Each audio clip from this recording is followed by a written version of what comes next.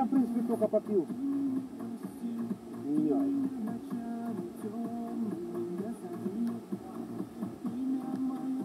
Ну, посмотрим, обещать не буду.